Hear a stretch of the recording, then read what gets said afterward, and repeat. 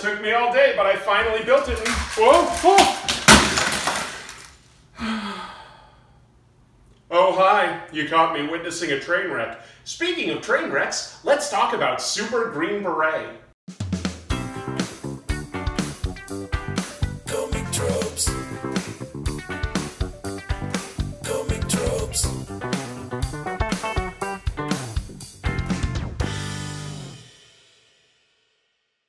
Hello, welcome to Comic Tropes. I'm your host, Chris. Comic books began to emerge in the late 1930s, and a lot of the early superhero stories with Superman, Captain America, Captain Marvel had them battling Nazis. Now, this was years before America actually got drawn into the war at the very tail end of 1941, but the Nazis were a very easy to hate villain. The comic books that were featuring these superheroes from America beating them up, it was propaganda, but it was also popular entertainment. A lot of people uh, wanted America to get involved in that war before we were ever drawn in. So it was both propaganda and entertainment. But now we'll fast forward to the 1960s, and America was in a very different and far less popular war. I'm talking, of course, about the Vietnam War, which was actually, of course, not a declared war for the United States. It was, in fact, a proxy war. It was capitalist countries and communist countries funding two sides in Vietnam, and that's why we were there. It wasn't very popular at home, and therefore, comic books featuring superheroes beating up Vietnamese was never really a popular idea, but that is exactly what we're going to talk about today. I'm going to talk about an obscure comic book that was made in 1967. It was 13 years into the US being involved in that war. It was not very popular. It really wasn't an idea that anybody out there wanted to see in terms of a superhero going over there to beat up Vietnamese people. Not anything anybody was asking for but it still happened. I want to talk about a completely ridiculous comic called Super Green Beret. The 1960s represented a new burst of popularity for superhero comics. One group of people that tried to get into that were two sets of brothers Will Lieberson, Bernie Miller, Martin Lieberson, and Joe Miller. They formed Milson Publishing, named after merging their last names, and started a comic book division called Lightning Comics. It published two titles, Super Green Beret and the slightly more famous Fat Man the Human Saucer. Both were written by Otto Binder, who wrote the vast majority of the Captain Marvel stories for Fawcett Comics. His collaborator on those books was C.C. Beck, who also drew Fat Man. Fat Man lasted three issues, which was still better than Super Green Berets 2. Yes, the stories of a fat guy who could turn into a flying saucer were more popular than those of Super Green Beret. In short, a kid named Todd gets a magic hat. When he salutes, he turns into a super strong bulletproof adult who can also make anything he wishes for come true. Surprise! The guy that wrote Captain Marvel tried to do the same thing with Super Green Beret. Let's take a look at Super Green Beret's origin story and try to find out why it didn't sell that well. Hint, it's because it's not good. The first page is a splash page just giving us an idea of who Super Green Beret is and what he can do. We see him saluting and he's making monkeys and gorillas appear to fight the Viet Cong enemy. You can see that he's dressed in a U.S. Army Special Forces uniform complete with airborne insignia on the shoulder and of course the famous Green Beret. So let's be clear this character is not in the US military, but he is wearing a US military uniform, uh, specifically one of the Army Special Forces, also known as the Green Berets. His name should probably be Captain Stolen Valor, because it was, and remains, a federal crime to impersonate someone in the military. This guy should be in jail. Taking a close look at the page, we can see that the titular character, Super Green Beret, is thinking to himself, GI's ambushed by the enemy. This calls for magic monkeys to appear. Presto! And throw coconuts. And how about a gorilla to tackle those Viet Cong guerrillas? Yes, Super Green Beret can invent anything he imagines out of thin air, including apes and gorillas. Why, with these powers, he could single handedly end the conflict there in no time at all. Instead, he just kind of teleports over there every once in a while to hassle the Viet Cong. I think another accurate name for him could be the Super Dumb Green Beret. We cut to the actual story, which began in the past. Young teenager, or maybe even preteen, Todd Holton is with his father and his father's ridiculously young wife, who never gets a name. Her brother is Roger, a Green Beret who apparently got a two week furlough from the conflict in Vietnam. He immediately offers Todd his beret. It's glowing, but they're pretty casual about that. A bigger concern for Uncle Roger should probably be his punishment for giving away part of his uniform. The punishment would be a bad conduct discharge, forfeiture of all future pay, and up to a year in prison. Uncle Roger explains the story of his glowing beret.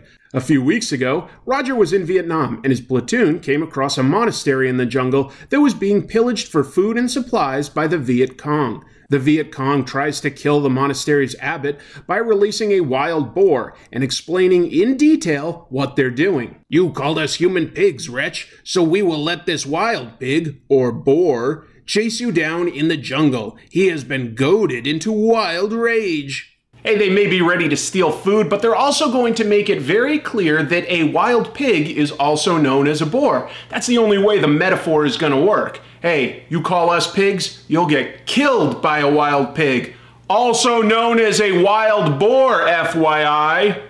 Roger runs after the boar, not wanting to risk stray gunfire with innocent hostages.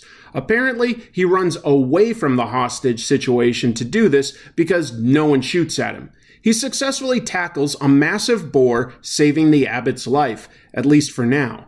Roger seems to break the boar's neck, but says he's just throwing it like a bull at a rodeo. The abbot thanks him, and Roger's men apparently massacre the Viet Cong off panel as we hear gunfire erupt. The abbot decides to thank Roger by summoning the Jungle Wizard. The Jungle Wizard uses his magic to make Roger's beret glow and tells him if he gives it to someone young and noble, they'll have full access to all of the Jungle Wizard's powers. Just for the record, Vietnam does not have any mythology about ancient jungle wizards. This is just playing on the old racist trope of the magical oriental old man. That said, Uncle Roger still belittles the whole experience by saying the wizard was just making up mumbo jumbo about jungle magic powers, and that it's too kooky to believe. Naturally, Todd tries it out and is instantly transformed into an adult in a replica Army Special Forces uniform, accurate down to that shoulder airborne badge. I can believe in magical hats, but magical hats that recreate modern military uniforms? That is an oddly specific use for ancient magic. I also like how the colorist on this story tried to give Super Green Beret a white area for his smile, but the offset printing shifted it up to make it look like he's an old man with a mustache. Great look for his debut. Uncle Roger spends the entire page constantly stunned that the magic works. He just cannot accept what he's seeing right in front of him. I'm not sure that's a great quality for a green beret. Hey, it's an ambush. Dive for cover. A what? It's a it's a what? Wait, no. Really? This is I'm Are you Wow, really? That's what's happening? Todd, or let's call him Super Green Beret now, tests his powers in a visually dull way. He turns some tree stumps into stone, and it seems to convince Roger, so I guess we'll just have to believe that it worked. Then the creepy jungle wizard pops up right behind Super Green Beret. He makes Super Green Beret promise to be good, which apparently means only beat up soldiers against U.S. interests. This particular jungle wizard happens to be a fan of Coca Cola and Levi's blue jeans, baby. Todd takes off his beret, and that's how his powers turn off. Roger gives him absolutely terrible advice, telling him he should keep it a secret.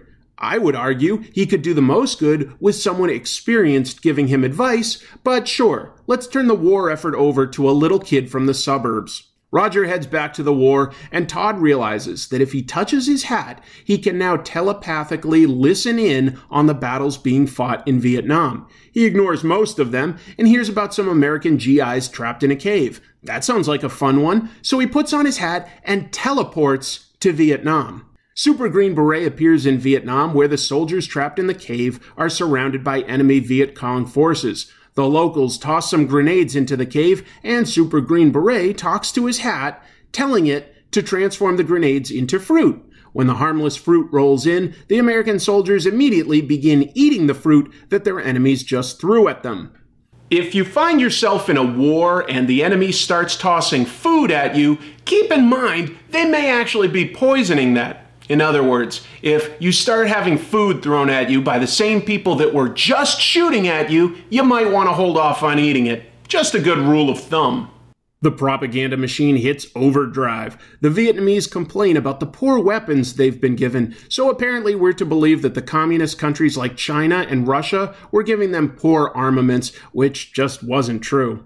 Also, the artist depicts the enemies in some relatively unflattering depictions that are at least bordering on racist, if not outright offensive. Somehow, the enemy knows that the Americans have run out of ammo. Super Green Beret also knows this and uses his magic to vacuum up the enemy's ammunition and put it in the Americans' ammo belts. Super Green Beret is like some sort of trickster god. With his powers, he could instantly end the conflict, and you would think that that would be a noble use of his powers. Instead, he just kind of likes to torment and tease the enemy, and he lets the battles continue. Just look at him smiling about what he's doing. The Viet Cong shoot a mortar shell that Super Green Beret turns into bouquets of flowers. He doesn't bother to tie the enemy up or scare them off. Instead, he slips into the cave to convince the American soldiers to rally. While they shoot back at the now defenseless enemy, Super Green Beret grants himself X ray vision and spots a machine gun emplacement hidden in the undergrowth. So he jumps over and kicks the enemy in the face and smashes their heads in with their own weapon. Super Green Beret finishes off the last enemy by using what he calls judo to basically lay on his back and kick the man headfirst into a tree. There is no chance that he didn't crumple up his spine like an accordion. Even though he can teleport, Super Green Beret opts to escort the American soldiers back to base.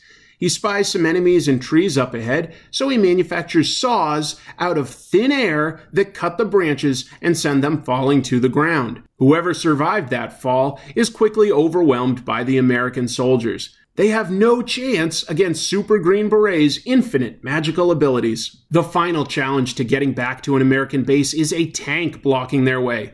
The story was made in 1967, and the Viet Cong weren't given tanks by Russia until after the 1968 Tet Offensive, but hey, it does make for a fun comic story, so we'll let this one slip away. Even though all of Super Green Beret's previous magic was made just by wishing it to be so, this time Super Green Beret salutes the tank. It utterly confuses the American soldiers, but Super Green Beret says he's saluting the enemy for having brought a defective tank, and apparently his salute makes the tank completely break down.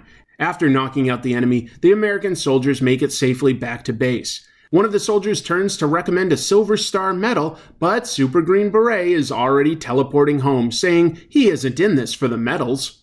No, why would you need a medal when you're already invulnerable and you can make up anything you imagine? He already wished himself up a full uniform. I'm pretty sure that wishing up a medal wouldn't be that big a deal. Back home, the news claims that the soldiers called their mysterious benefactor Super Green Beret, which is a little strange because he explicitly introduced himself as Captain Holton and never said the words Super Green Beret. After that, Todd would just teleport over to Vietnam whenever he felt like it, and similarly taunt the enemy. Sometimes he'd get bored of that and teleport down to South America to battle dictators. One time, he decided to go back in time and beat up Nazis just for fun. His only weakness was that he'd lose his powers if his hat fell off. Similar to how Billy Batson would sometimes be gagged so that he couldn't shout Shazam. But, just like Billy, Todd would engage in ridiculously dangerous ways to escape being tied up, like swimming up to an alligator, which don't exist in Vietnam, but maybe Todd is too dumb to know that and it was a crocodile all along. Todd then twists and lets the alligator bite through the ropes binding his hands. He always manages to get his hat back just in time. And that's basically why this character isn't very interesting. First of all, he doesn't have the fun, cartoony art that CC Beck delivered with Captain Marvel. So it's missing that. But on top of that, this guy is super strong, he's invulnerable, and he can make up anything he can imagine. There are no limits to his power. That's just not interesting because there's no conflict there. By the way, this character is also in the public domain. That means that you could make whatever Super Green Beret story that you'd like to. So that's my gift from me to you. Go nuts with it. Speaking of going nuts, let's take a quick look at the fan art that came in this week. First up, we have this cool piece by Mexican webcomic artist Gustavo Duarte. You can see more of Gustavo's comic at his website listed there. Marvin Duran illustrated a piece involving me and Infotron based on my recent review of Spider Man's Clone Saga. You can see more of Marvin's art at his Instagram. Grimlock created some artwork where I get to live out my dream of being a Ghostbuster. And finally, Sheldon Martin contributes this comic strip, which is based on a joke from my friend Ken's movie, Knocked Up. You can see more of Sheldon's art on his Instagram. If you would like to have your artwork featured, I'm happy to share it. Just send it in to comictropes at gmail.com. Make sure it has something to do with this show, Comic Tropes. Again, I'm happy to share that with you. And then what I've always done is I've picked a winner out of uh, the uh, potential uh, fan art applicants, and I've drawn a Gachapon prize out of the Gachaponi machine that was donated to the show by Lunar Shine Store. Now, there is only one Gachapon prize left. I'm going to take a short break from giving away Gachapons. It's very time consuming for me to get to the uh, post office. I hope you understand. I am going back to Japan this November. I'll get some more Gachapons at that point in time and pick up. In the meantime, I'm still happy to share your artwork. Just know that I'm taking a small break from giving away Gachapon prizes. But we're still going to do it this week. And uh, let me take a look at the list here. So out of the entrance this week, um, Marvin Duran and Grimlock have opted out of being potential winners. So that leaves us with Gustavo and Sheldon. So Gustavo will be heads on a coin flip and Sheldon will be tails. Let's see who wins. All right, it is tails. Sheldon, you will win the last uh, Gachapon prize that I got for a little while. Let's see what we got. Okay. Uh, for the last one, I've got, you may remember these from sort of the 80s. They are pink muscle figures. They're sort of like uh, alien wrestlers. So that's a kind of cool uh, one to be able to give away. That is the last of the Gachapon prizes for now. I'm going to take a short break. But I sincerely appreciate you guys uh, watching the episodes, hitting like and subscribe, uh, supporting me on things like Patreon. So thank you very much for that. If you're interested in supporting it, the links are down below. In the meantime, just know that I've got some really cool, exciting episodes coming up, digging deep into the history of comics, doing fun, weird stuff like this, uh, looking at some foreign comics, looking at some indie comics, and definitely looking at some modern stuff too. So appreciate your support, and until next time, keep reading comics.